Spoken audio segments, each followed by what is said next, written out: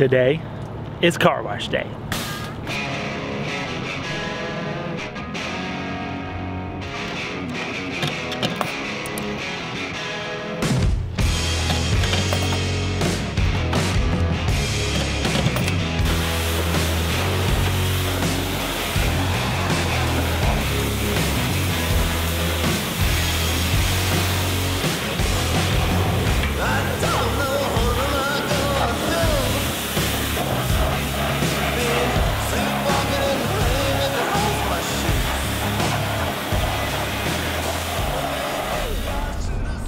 Dawson City. It's a really cool old town. So much history. The city's beautiful. And we picked this specific RV park because it had laundry, which we desperately need, and for the showers and Wi Fi. It's hot. It's 88 degrees. Mm-hmm. We have no clothes. We needed to wash some clothes and take some showers to kind of restart our jump into Alaska. So we get our spot, we get situated, I sort out the laundry, we go down to the laundromat. They close it at 9 p.m., whether they're down or not. Okay, all right, that's disappointing. I'll wash a few things in the sink. It's hot enough, I'll set them out to dry. Hopefully they'll be dry by morning, right? Mm-hmm. So then we decide, okay, we'll stop at the wash house to check them. Both of the showers have tape on the doorknob saying out of order, no hot water. I say no, I'm just done. I'm not paying $29 to park in a gravel parking lot to sleep. We go into the office, and apparently the power's out for some reason. Which they can't control, No, but still. but they should have backup generators for their office so they can at least run the credit card machine if someone wants to leave or give cash back. Can't even open the cash register. Yeah, that was the best one. Oh, you paid with a credit card, so we can't give you a refund. I'll take cash. Oh, we can't open the cash register. Because we just don't have hmm. power. Figure it out. Luckily, oh. she did. Yeah. This one So lady to had be fair, they, they made it right. They didn't fight us. Yeah, and we're not going to name good. names. I'm not going to tell you who this is. But Mama's done. Yeah, Mama's done. Well, the other side of it is, is they have a laundry mat, right? But there are so many people living, living here in this RV park that it just stays full the whole time. They lock the door at 9 p.m. Yeah. That's my biggest thing. I'm like, you should stay open as I mean, long general, as you people want don't to. don't even get to a campground by you know five or six o'clock. So, yeah. Oh well, that's okay. Let's hook up and This go is somewhere this is the first time ever evolution we are leaving the campground that we decided to stay in. And got a refund. So we did get cash. So Got cash. We needed cash anyhow, so that's good. Now let's go drive into the night and find a place to stay. Luckily, we got plenty of daylight. All right, so our first campground was a failure to launch. But now we are at the, I think it's the Klondike River campground just outside of Dawson City. Much better setting, much friendlier setting. So Caroline's already made friends with those folks over there.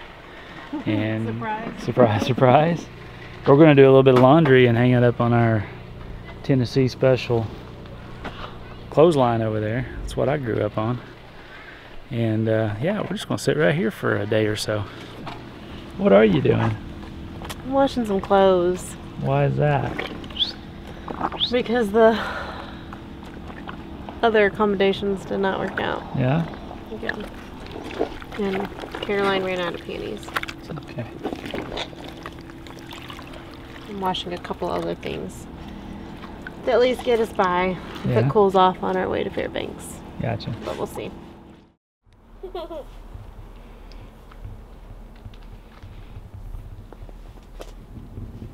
what you doing?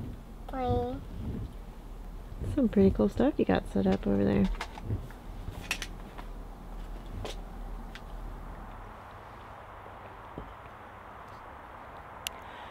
So I want to take a minute and talk to you guys.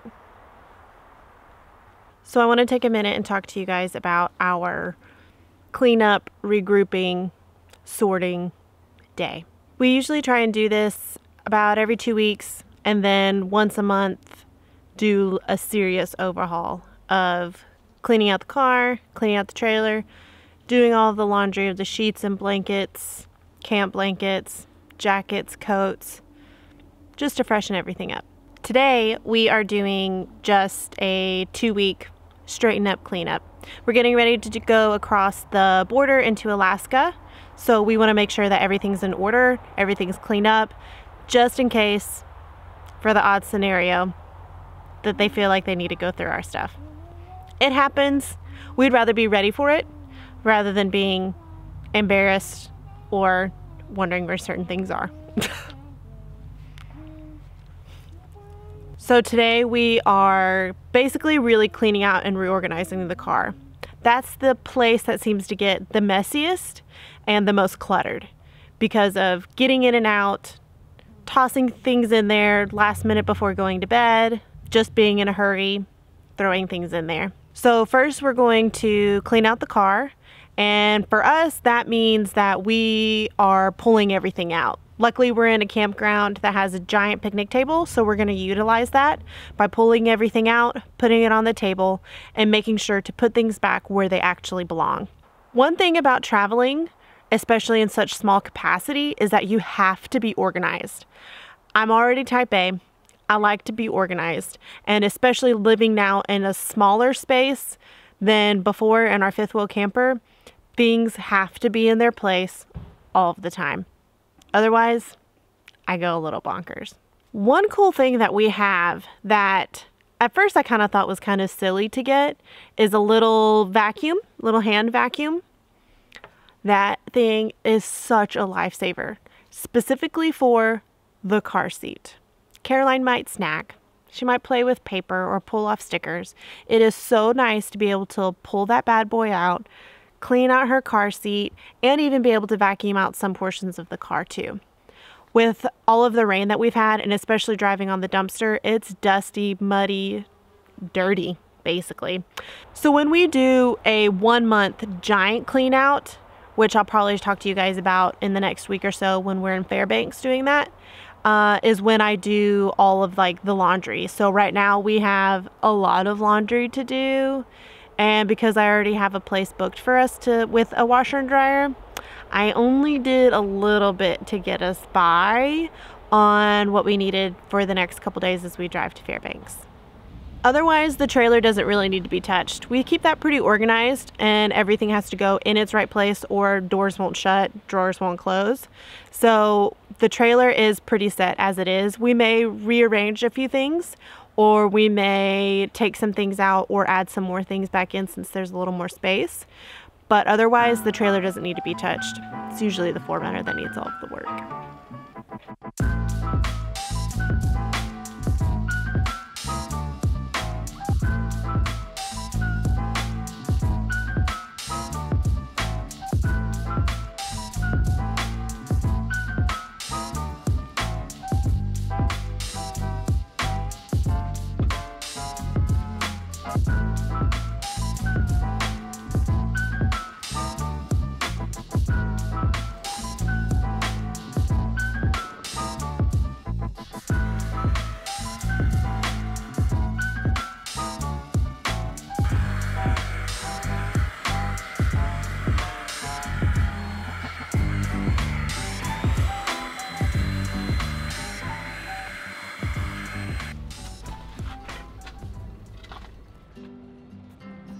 After taking care of our camp chores, we decided to make our way into Dawson City and take a turn about the town, as I imagine the old miners used to say.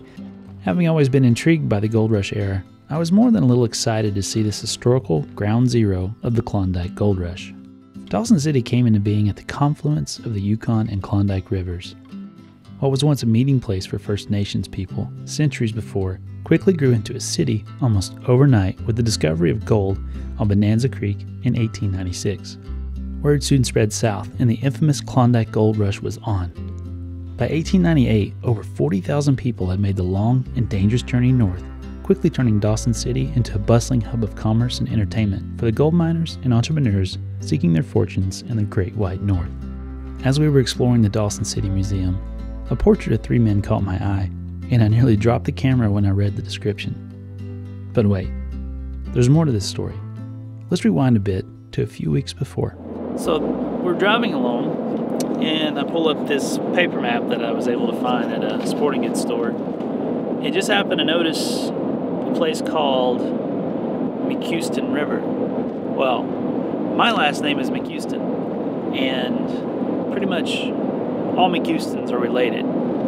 So we tried to find out more information. There was a house there, but it didn't look uh, too inviting. A lot of no trespassing signs, and I didn't see anybody outside. And uh, also on that map is a, a little marker that says McQuesten Historical Site. I was like, oh man, we got to figure out what this is all about. But we drove up in the woods on a couple little trails and just couldn't come up with anything. But still, pretty cool. We're going to have to Google that when we get back to Signal. Needless to say, the thought of stumbling across one of my ancestors here in the Yukon never even crossed my mind. But here he was, staring me in the eye with that confidence and sage wisdom that only a hardy pioneer can pull off. It would seem that somewhere in our family genes there's a strain of adventurer blood that can't help but wonder. Originally from New Hampshire, Jack McQuesten was wild at heart from an early age and traveled his way up the Pacific coast, working as a prospector, miller, and Hudson Bay Company employee on his quest northward. In 1873, Jack came to the Yukon with his partners Arthur Harper and Alfred Mayo. After enduring his first harsh winter in the Yukon, he and his partners established a trading post at Fort Reliance, about six miles from what is now Dawson City, and over the next eight years developed a chain of trading posts along the Yukon River, including 40 Mile, 60 Mile, Stuart City, Eagle, Circle City, and Fort Yukon. In this quickly changing territory, there was no formal law enforcement, so leaders of the community gathered together and created what is now called the Yukon Order of Pioneers. Jack was elected as their first president and designated their own Golden Rule paraphrase, do as you would be done by, as their motto. This group of men voluntarily took on the task of ensuring mutual protection and order for the growing populace. The order settled disputes, took care of the sick, and raised funds to send ill or injured men back to Vancouver or Victoria for treatment. While Jack McQuesten left his mark on this territory in many ways, it is clear in surviving historical documents and letters that his honesty and integrity was what gave rise to his fame in the Yukon. It wasn't uncommon for him to grubstake destitute miners who arrived penniless after having lost everything just to make it to the Yukon Territory. He would outfit them and send them on their way with only a handshake promise that the favor would be made right when the miner returned from the goldfields. After 25 years in the Yukon, Jack McQuesten retired a wealthy man when his successful trading businesses and mining speculations were cashed out. He was one of the few who returned south with pockets full of gold and stories of adventure that modern day explorers can only dream about. There's another famous Jack associated with this region, and if you've ever read The Call of the Wild or watched White Fang, you know who I'm talking about.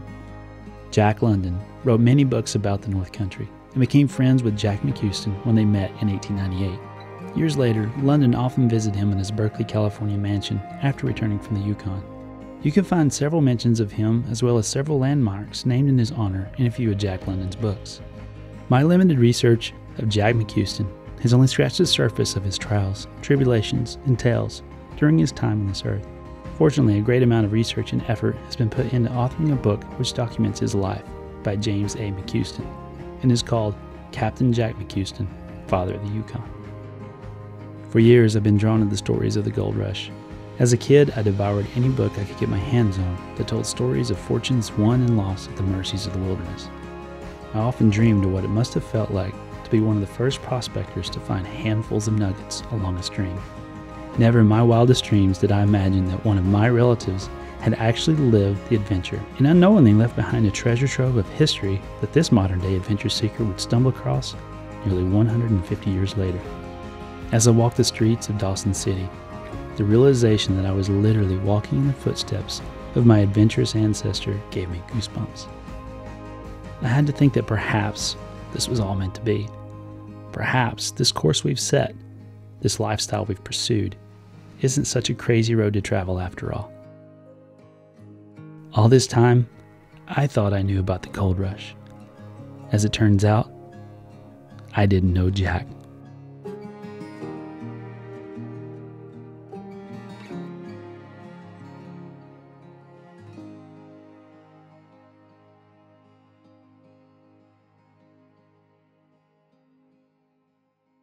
Good morning. So today we wrap up our stay in Canada, at least for the time being. We're gonna go down to Dawson City one last time, grab us a little bit of coffee, some breakfast, just because we slept in a little bit. We don't feel like cooking. So we have the opportunity. We're gonna get some food and sustenance made by someone else. And then we're gonna get on the road and probably here in about an hour, we'll be crossing back into the US, into Alaska. So here we go.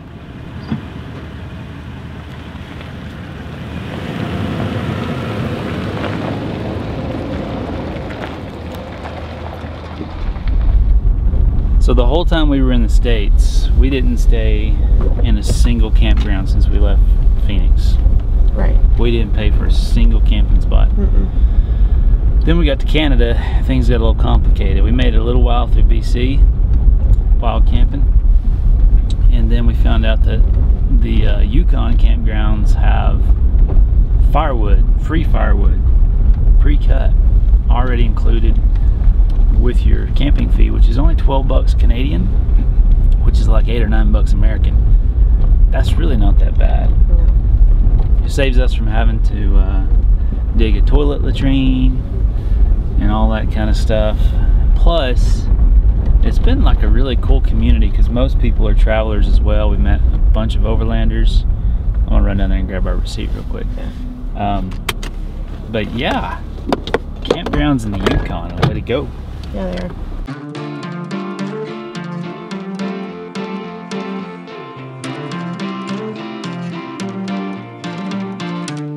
See through all the faces telling me to find my place, and I'm so close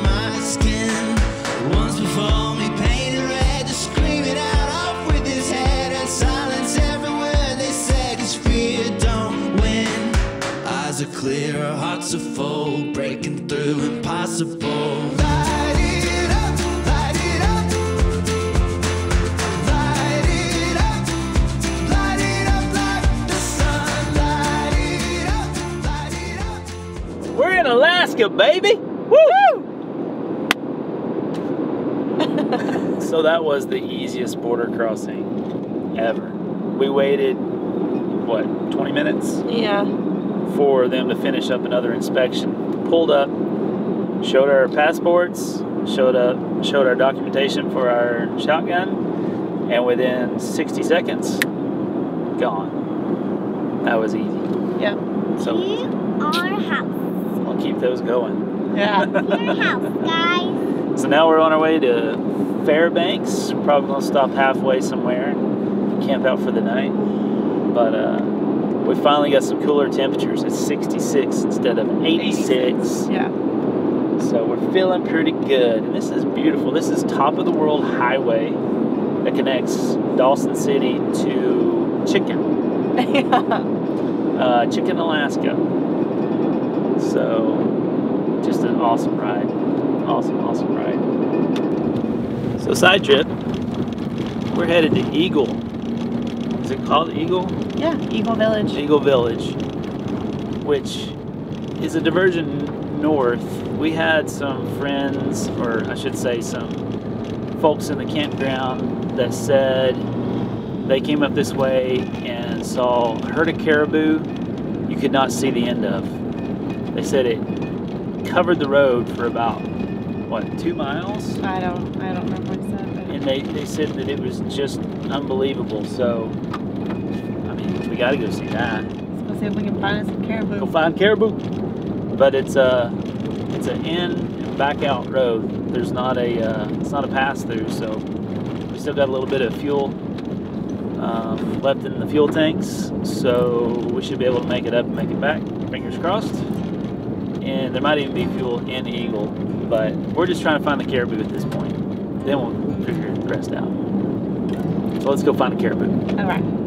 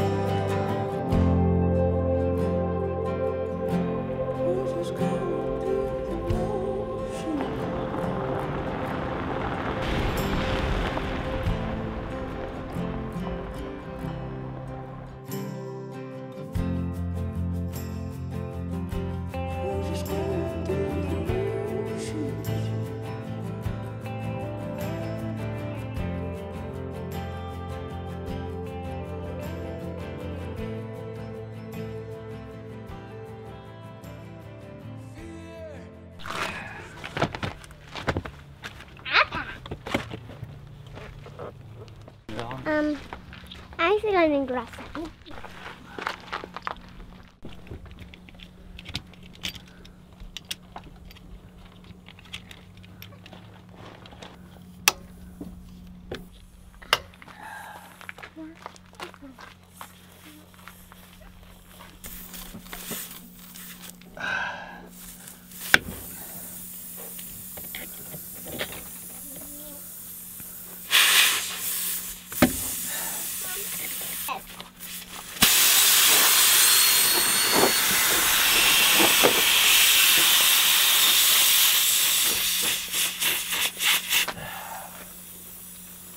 What in the world? Whatever it is. See the scale rust on it?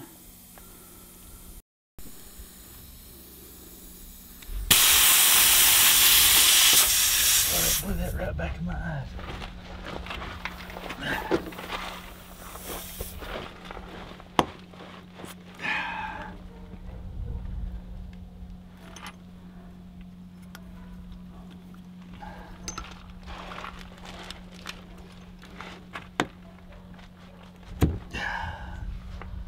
Done.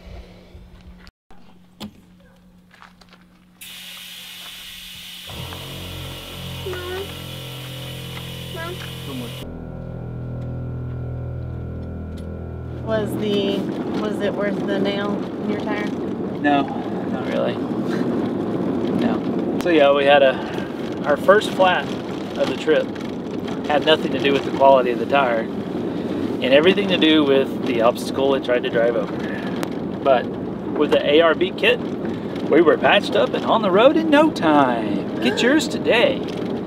Link in this video description. so we're gonna get on down the road, go find camp for the night. Hopefully by a stream where we can pan for some gold.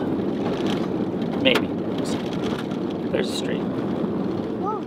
While Eagle, Alaska was interesting, we were all tired, stinky, and just a bit annoyed from too many days without showers or fresh laundry. We were looking forward to making Fairbanks the next day for a long rest and reset. The past few days had worn us all down with the late summer heat, campground issues in Dawson City, and now a flat tire. Just when it seemed like long hot showers and springtime fresh clothing was within our grasp, a massive caribou jumped out of the underbrush just a few feet ahead of the rig, and Sarah locked up all six wheels to minimize the impact. Fortunately, we missed the caribou, and after catching our breath, we started again to find camp for the night. Almost immediately, our dash cluster went haywire from yet another issue. That's what I was wondering. Did it just go off because of that, or? I've never seen this before.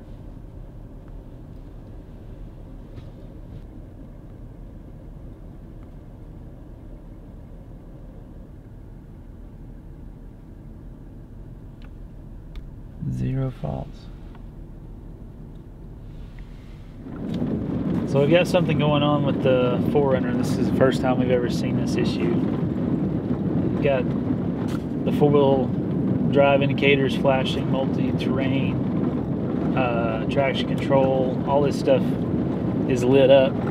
But I have no fault codes coming through the system right now. Everything seems to be functioning just fine. So we have no choice right now but to ease our way to cell signal and uh, see what we can research real quick. Thankfully, we aren't at Tuktoyaktuk. We're actually, you know, just a few hours from Fairbanks, so hopefully we can get some help there if, uh, if we can't clear this up ourselves. Probably what I'll do tonight, um, is, for, for starters, is I'll disconnect the battery and just give that computer a good uh, reset and see if it doesn't clear some of this stuff up. But we're just going to keep an eye on it.